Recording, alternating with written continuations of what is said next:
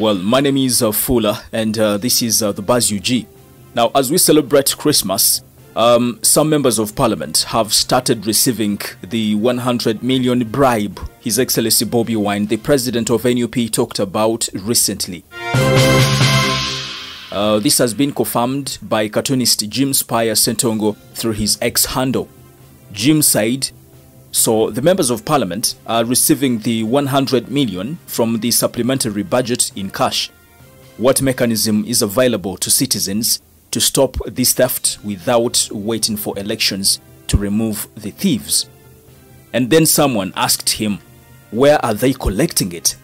And he replied, an MP says Kololo.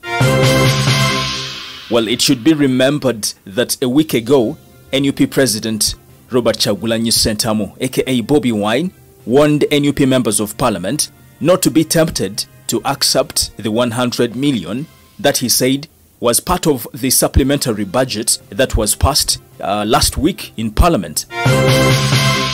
Now let's have a look at uh, what some Ugandans are saying on X. As usual, I'm gonna be reading a few comments right here and we call it a story. Uh, this is a Mercy Grace I'm just wondering if we should be participating in another election. Something is fundamentally amiss here. Who holds these members of parliament accountable for their actions? Can citizens petition and demand their removal akin to a vote of no confidence? Allowing such misuse of taxpayers' money raises doubts about the justification for continuing to pay taxes. Okay, uh, this is uh, Kamya Kasozi, and uh, the most vocal opposition members of parliament are mute about the incident. Should we suggest that the loot is between only NRM members of parliament? Well, moving on, this is uh, Herbert Kanyonyozi. Political representation should be voluntary. They should only be facilitated with fuel and per diem as and when they work the institution has become a training ground of expert thieves.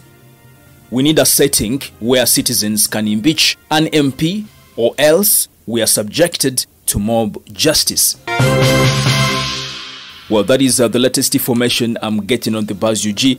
Some members of parliament have already started receiving uh, the 100 million Uganda shillings uh, from the supplementary budget. And of course, this has been confirmed by cartoonist Jim Spire Ssentongo. And of course, I'll be keeping you posted right here on The Buzz UG. My name is uh, Melads Milo, aka Fuller. This is uh, The Buzz UG. Follow me on TikTok, Melads Milo, aka Fuller. Don't forget to subscribe and also tap on the bell for all the notifications. Merry Christmas. Bye for now.